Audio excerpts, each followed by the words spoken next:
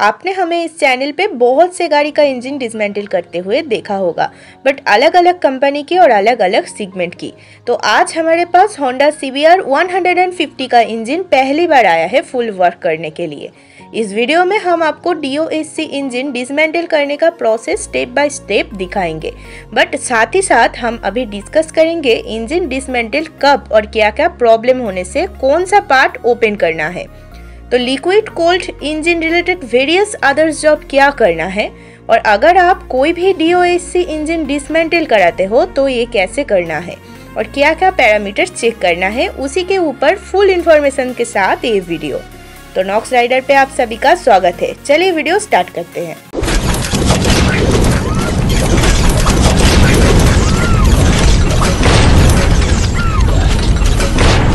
सो so friends सबसे पहले engine head open करते हैं। बट इंजन हेड ओपनिंग कब और क्या क्या प्रॉब्लम होने से हिट करना है, उसके बारे में जानना बहुत ज़रूरी है। तो नंबर वन अगर इंजन पे हेड गैसकेट लीकेज होता है। Number two valve oil seal damage है क्योंकि व्हाइट स्मोक होगा। Number three high compression pressure है क्योंकि हेड पे कार्बन है क्लीन करना है। नंबर फोर व्हाइट स्मोक और नॉइस के लिए सिलेंडर पिस्टन रिप्लेसमेंट करना होगा। Number five valve bent seating या भाल्व रिप्लेसमेंट के लिए। Number six cylinder piston replacement करना होगा। तब और number seven valve guide noise के लिए। नंबर एट कैमसेप्ट रिप्लेसमेंट करने के लिए। तो ये सब प्रॉब्लम के लिए हेड को डिसमेंटल करना है। सो so फ्रेंड्स सबसे पहले इंजन हेड ओपन करते हैं। उसके लिए फ़र्स्ट हेड कवर का two piece 6 M M Allen की बोल्स को 6 एम एम एलिन की के हेल्प से ओपन करें। उसके बाद बोथ बोल्ट्स को हैंड से होल्ड करें और बाहर निकालें। उसके बाद सिलेंडर हेड कवर के ऊपर प्लास्टिक मालेट से थोड़ा थोड़ा प्रेस करें और हेड कवर को बाहर निकालें। हेड कवर का रबर सेल को चेक करें। अगर डैमेज है तो रिप्लेस करें। नेक्स्ट कैम चेन गाइड को ओपन करें। उसके लिए गाइड का two piece 10 M M bolts को 10 एम एम टी स्पैनर के हेल्प से ओपन करें और गार्ड को बाहर निकालें।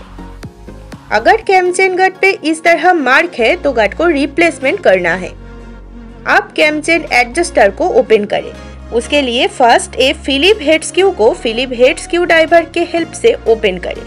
और इस small flat head screw driver से कैम चेन टेंशनर को पुल करें। उसके बाद एडजस्टर का two piece 8 M M bolts को 8 एम एम टी स्पैनर के हेल्प से ओपन करें। उसके बाद कैम चेन एडजस्टर को बाहर निकालें। उसके बाद इनलेट और एडजस्ट साइड कैम सेप्ट को ओपन करें। उसके लिए एक total 8 piece 10 M M bolts को 10 एम एम टी स्पैनर के हेल्प से ओपन करें। और बोल्स को बाहर निकालें। उसके बाद इनलेट साइड कैम के ऊपर प्लास्टिक मैलेट से थोड़ा थोड़ा प्रेस करें और कैम को बाहर निकालें। कैमलॉप चेक करें। अगर कैमलॉप पे ज़्यादा स्कोरिंग मार्क है तो चेंज करें। नेक्स्ट एचएस साइड कैमसेप्ट को बाहर निकालें और कैमसेप्ट कंडीशन चेक करें। नेक्स्ट बारी है सिलेंडर हेड को बाहर निकालने की। तो उसके लिए first a two piece ten M M bolt को ten M M T spanner के हेल्प से लूज करें। उसके बाद बोल्ट को बाहर निकालें। Next a four piece twelve M M nut को ट्वेल्व एम एम सॉकेट के हेल्प से लूज करें और फोर पीस नट को बाहर निकालें। अब प्लास्टिक मालेट से सिलेंडर हेड के साइड पे थोड़ा थोड़ा प्रेस करें। उसके बाद एक हैंड से कैमचेन को होल्ड करें। और हेड को बाहर निकालें। सिलेंडर हेड बाहर करने के बाद हेड गास्केट कंडीशन चेक करें। और भाल्व फेस और भाल्व बेंड है क्या चेक करना है। Valve guide and valve oil seal भी चेक करना बहुत ज़रूरी है। नेक्स्ट कोलन हाउस को ओपन करते हैं। उसके लिए हाउस माउंटिंग पे इंस्टॉल टू पीस क्लैम का फ्लैट हेड बोल्स को फ्लैट हेड स्क्यू ड्राइवर के हेल्प से थोड़ा सा लूज करें और कोलेंट हाउस को बाहर निकालें। Next adjust side cam chain pad को बाहर निकालें और चेक करें। चेन पैड ज़्यादा वर्ड है तो रिप्लेस करें। नेक्स्ट सिलेंडर ओपन करते हैं। बट सिलेंडर ओपन कब और क्या क्या प्रॉब्लम होने से सिलेंडर ओपन करना है, उसके बारे में पहले जान ले। तो नंबर वन व्हाइट स्मोक होने से। नंबर टू अगर इंजन 3000 किलोमीटर चलने के बाद इंजन ऑयल 150 ml से ज़्यादा कंज्यूम होता है, तब। और अगर आप सिलेंडर पिस्टन और रिंग रिप्लेसमेंट करते हो तो सिलेंडर ओपन करना होगा। नेक्स्ट सिलेंडर ओपन करने के लिए फ़र्स्ट प्लास्टिक मालेट के हेल्प से सिलेंडर का साइड पे थोड़ा थोड़ा प्रेस करें और बोथ हैंड से सिलेंडर को होल्ड करें और सावधानी से बाहर निकालें। उसके बाद small flat head screw driver के हेल्प से पिस्टन पिन सर्किट ब्लॉक को ओपन करें। उसके बाद पिस्टन पिन को थोड़ा सा प्रेस करें और पिस्टन पिन के साथ पिस्टन को बाहर निकालें।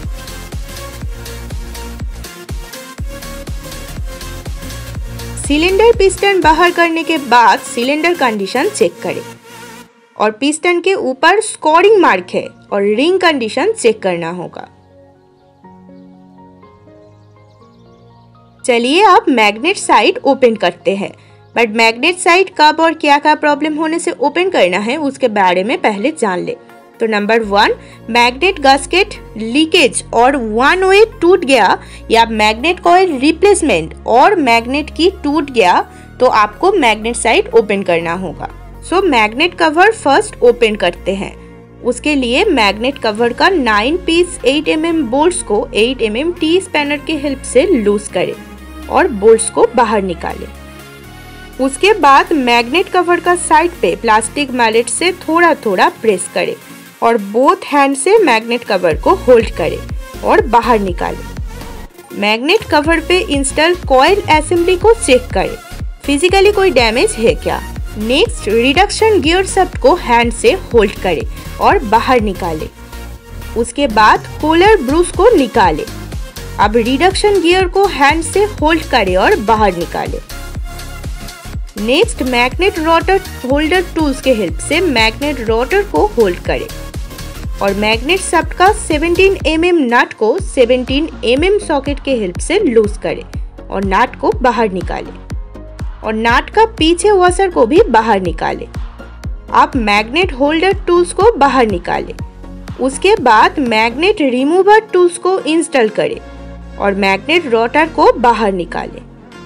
वन वे बियरिंग का कंडीशन चेक करें और स्टार्टर ड्राइव गियर को बाहर निकालें और कंडीशन चेक करें। नेक्स्ट कैम चेन को हैंड से होल्ड करें और बाहर निकालें।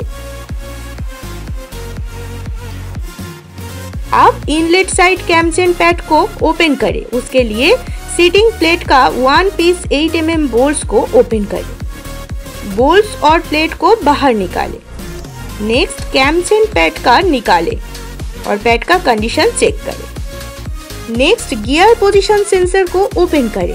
उसके लिए one piece 8 M M bolt को 8 एम एम टी स्पैनर के हेल्प से ओपन करें और बाहर निकालें। उसके बाद small flat head screw driver से सेंसर का साइड पे थोड़ा थोड़ा प्रेस करें और सेंसर को भी निकालें। आप स्विच कॉन्टेक्ट को बाहर निकालें और स्विच कॉन्टेक्ट स्प्रिंग को भी निकालें।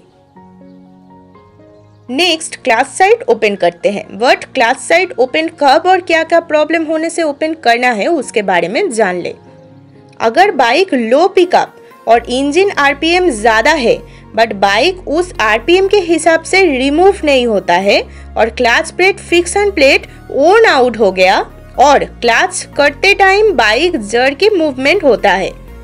और अगर बाइक गियर सफ्ट हार्ड है, इस टाइप प्रॉब्लम होने से क्लाच ओवरहॉल करना होगा। क्लाच साइड ओपन करने के लिए फ़र्स्ट कूलेंट पंप कवर को ओपन करें। उसके लिए कवर का three piece 8 M M bolt को 8 एम एम टी स्पैनर के हेल्प से ओपन करें और कूलेंट पंप कवर को बाहर निकालें। आप ऑयल लेवल गज को कॉम्बिनेशन प्लेयर के हेल्प से ओपन करें और बाहर निकालें।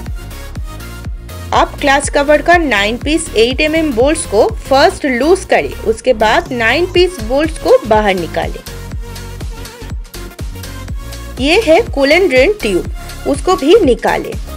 उसके बाद क्लाच कवर का साइड पे प्लास्टिक मालेट से थोड़ा थोड़ा प्रेस करें और बोथ हैंड से क्लाच कवर को होल्ड करें और बाहर निकालें। अब बारी है इंजन ऑयल पंप को ओपन करने की।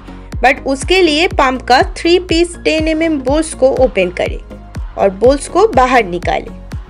उसके बाद ऑयल पंप को हैंड से होल्ड करें और बाहर निकालें।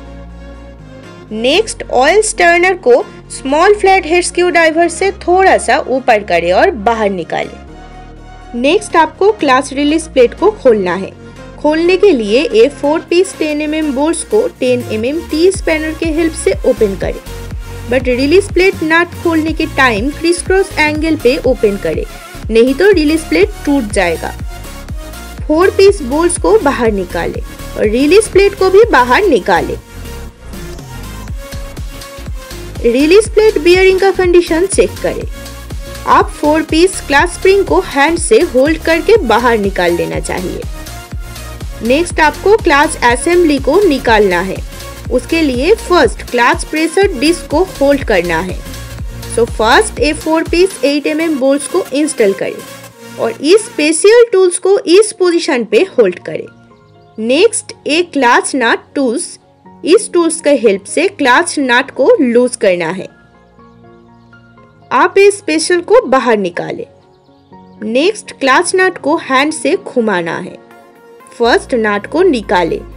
उसके बाद नाट का पीछे स्प्रिंग वॉशर को निकालें। आप आपको इस बोथ पोजीशन पे हैंड से होल्ड करें और क्लास असेंबली को बाहर निकालें। नेक्स्ट क्लास हाउसिंग के ऊपर का ए वॉशर को बाहर निकालें। उसके बाद हाउसिंग को हैंड से होल्ड करें और बाहर निकालें।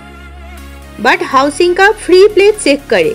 अगर ज़्यादा प्ले है तो हाउसिंग को रिप्लेसमेंट करें। आप क्लाच हाउसिंग ब्रूस को निकाले और ब्रूस के पीछे ये वॉशर को भी निकाले। Next gear primary drive gear को ओपन करें। उसके लिए ए नाट को इस टूल्स के हेल्प से लूज करें। उसके बाद नाट को बाहर निकाले और ए वॉशर को भी बाहर निकाले। नेक्स्ट गियर प्राइमरी ड्राइव को हैंड से होल्ड करें और बाहर निकाले। नेक्स्ट वाटर की को सावधानी से होल्ड करें और बाहर निकालें। और ये वॉशर को हैंड से होल्ड करें और बाहर निकालें। नेक्स्ट स्टॉपर गियर शिफ्ट को ओपन करें। उसके लिए 10 एम एम टी स्पैनर के हेल्प से स्टॉपर गियर शिफ्ट का बोल्ट्स को ओपन करें और बाहर निकालें। नेक्स्ट गियर सब स्टॉपर को हैंड से होल्ड करें और बाहर निकालें। ये देखिए वाशर स्टॉपर का पीछे रहता है। इसको भी निकाले। और लास्ट एक गियर स्टॉपर स्प्रिंग है।